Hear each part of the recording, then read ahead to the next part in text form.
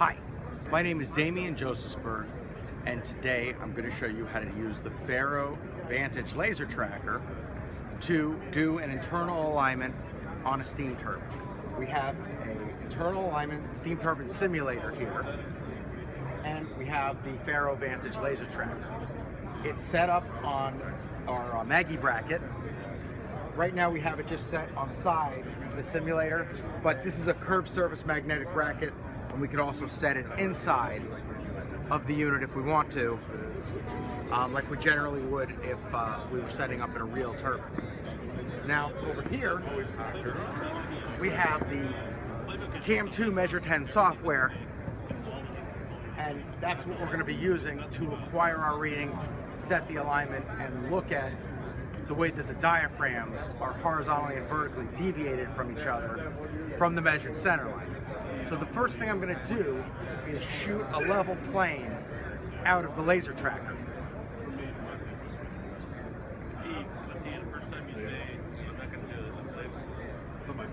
Okay, and the reason I'm doing this is for a sanity check um, and also, for some reason, I can't get a really good level plane off of the unit. Then when I go to set my coordinate system, I can use the gravity level plane for my movements for the Y or vertical direction.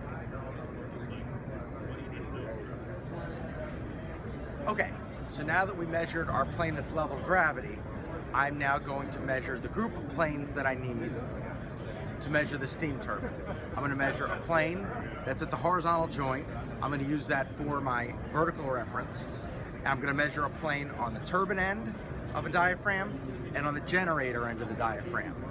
That'll allow me to cut the diaphragms into a plane so I can make a coordinate system at those two points.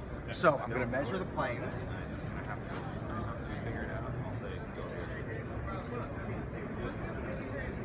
Okay, so I'm going to measure the first plane.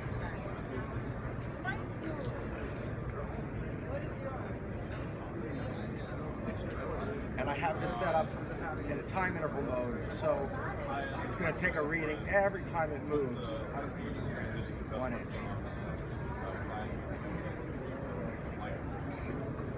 All right, so there's my first plane. Now I'm going to measure plane number two.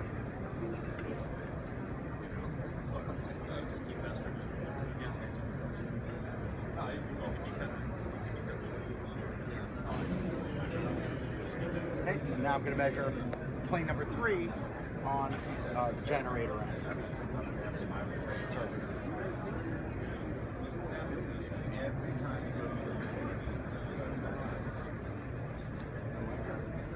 Okay, so now I have my three planes. That's what I want. Okay, so now I'm going to rename these planes in the software so I know what they are.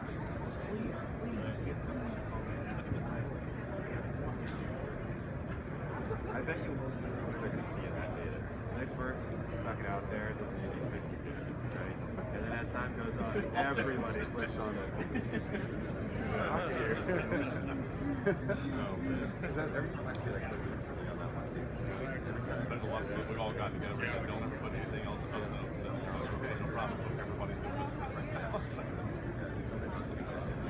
Here's your, you're taking, here's your big data. Take that. Yeah, take that. You don't think me.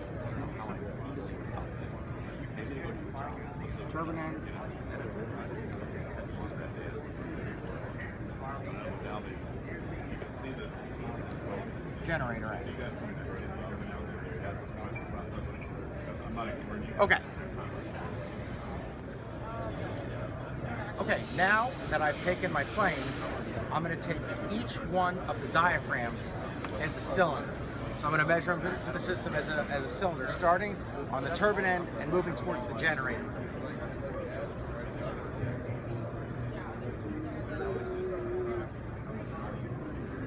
Okay?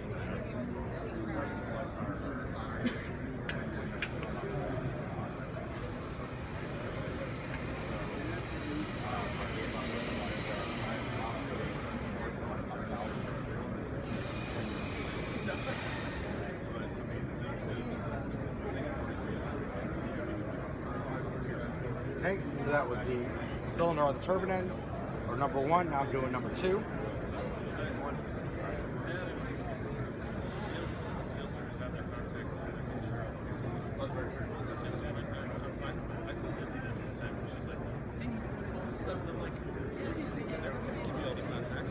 Okay, now I'm doing diaphragm number three.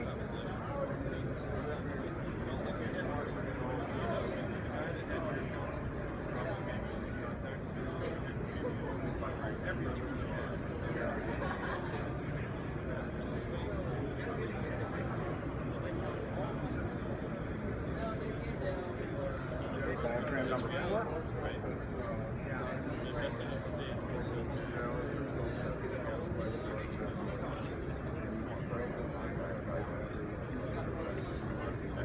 Diaphragm number five.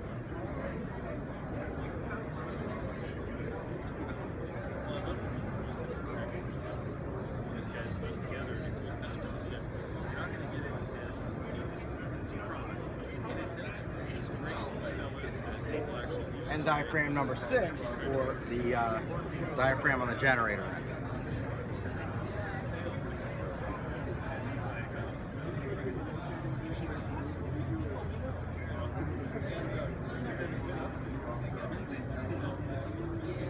You can see as I'm taking the readings on these diaphragms, as soon as I get over my six, my six points, which is the um, minimum required to determine the geometry of a cylinder, then it also shows me um, my diameter and my out of cylindricity, which would really be the out of round of the cylinder. Now that I have all these readings, I can construct the points in the software to build my turbine and my coordinate system.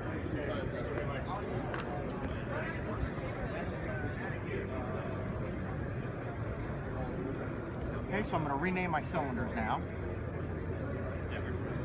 Cylinder number one was started is the turbine end. And then cylinder number six is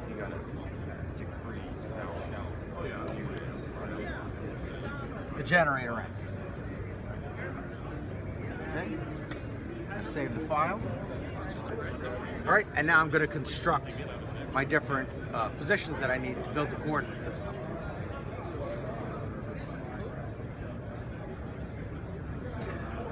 All right, so I'm going to build my circles. My intersection of a plane and a feature. So the first circle I'm going to have is my turbine end. Okay, and that is going to be the plane that I shot on my turbine end. And the cylinder, I'm going to cut that cylinder into a plane.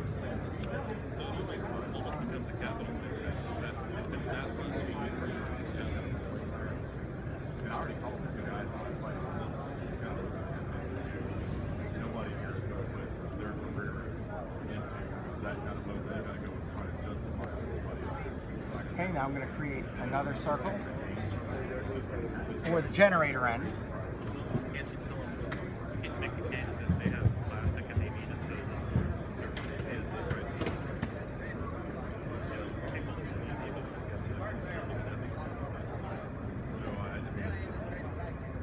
I, I did some. Oops, and I accidentally made it. Uh,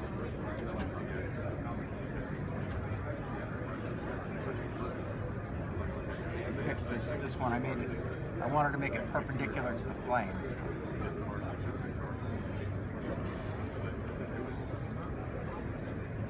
Okay, so now I'm going to make a machine axis.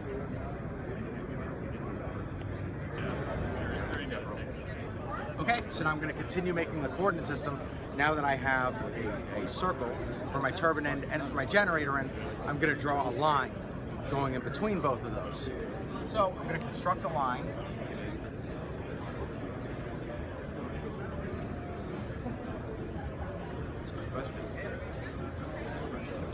It really depends on Using the turbine end and the generator end. And we're going to call this the machine And I axis. don't know what they're going to come back with. You know, last year they cut us down.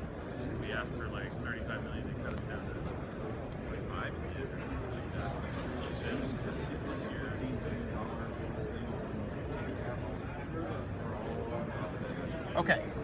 So now I have a line going through the machine. And I have a circle on each end that is going to represent the turbine end and the generator end. And I have a measurement plane for the horizontal joint. So now I can create my coordinate system.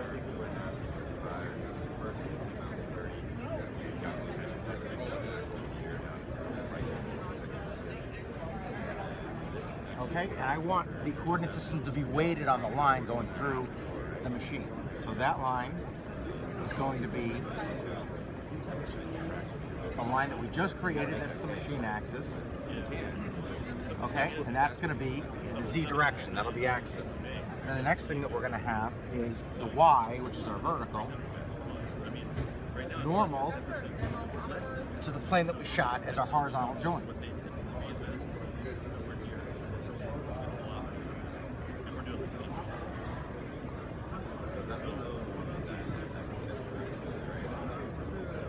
Okay, and that'll be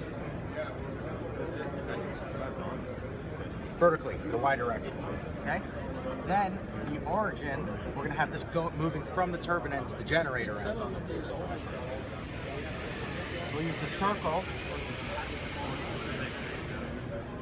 from the turbine end as our origin.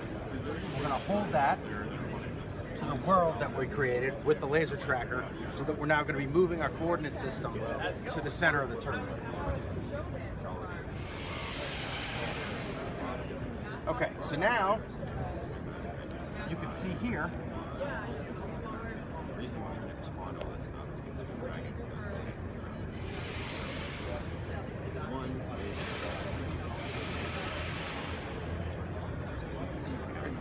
So now we have all of our base measurements in to view our alignment and to build our coordinate system. You can see here we have the turbine end of the machine, we have the generator end of the machine, we have the machine axis, which will be the line going through both those positions, okay? And now we have our coordinate system with the Z going through the axis of the machine, the Y being the vertical, and the X being horizontal. Now I can view the different cylinders of the machine and see how much they're off from that center position. So if I go to uh, cylinder 4, for example,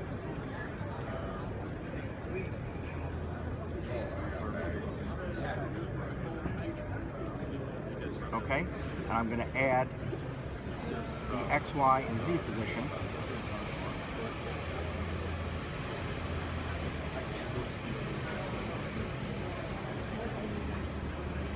Okay, the Z is going to tell us how far away we are down the axis of the machine, and then we can look at our deviation horizontally for X and vertically for Y.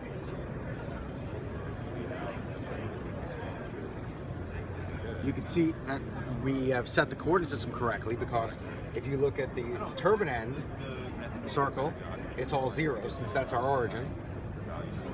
And the generator end, the X and Y are set at zeros, but the Z is the length of the machine from the end plane of turbine end to the end plane of the generator end. We can use that as a, as a sanity check. And now we can look at how much the variances are of the horizontal and vertical deviation from every one of the other positions.